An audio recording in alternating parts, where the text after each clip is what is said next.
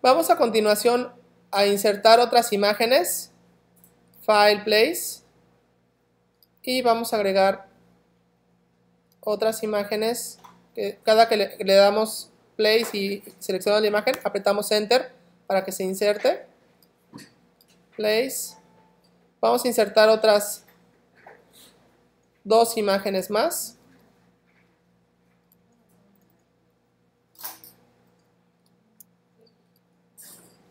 Enter cada que inserten una imagen.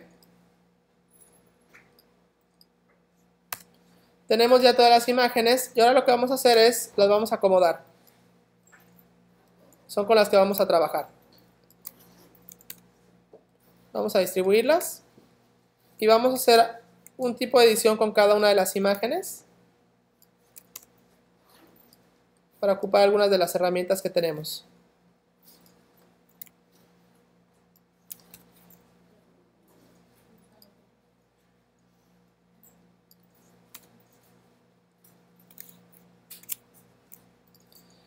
Como podrán ver, de hecho de este lado tengo una que dice Adjustments. Le voy a, la voy a hacer más chiquita esta ventana con este cuadrito.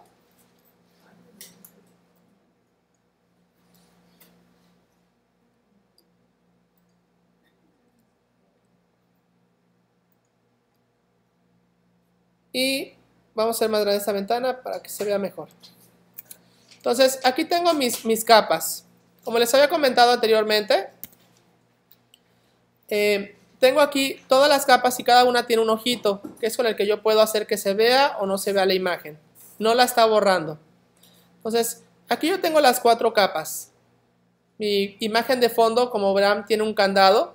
Este candado lo que más es que no la esté seleccionando por error el fondo, para que no se me mueva. Entonces, vean cómo ahorita, si yo pongo las capas, esta capa está por atrás de todas. No sé si lo ven. Entonces, esta capa está por atrás de todas. Vamos a suponer que esa quisiera que yo esté por delante de todas. ¿Qué haría? Aquí yo veo que cuando la selecciono, vean aquí, me muestra el orden. De hecho, aquí me da un preview, una previsualización de la imagen. Ah, bueno, yo quiero que ese esté hasta encima. Lo único que agarro es, doy clic sobre el nombre y la arrastro arriba. Y vean cómo va, va haciendo una línea de dónde la puedes colocar. Y ahora la colocó hasta arriba de todas las capas. ¿Ok? Ah, no, quiero que esté arriba, pero atrás de esta de la computadora. ¿Esta cuál es? Entonces esta la pongo hasta arriba. Pues puedo estar intercalando las, las imágenes una con otra para que el orden de las capas quede conforme yo lo deseo.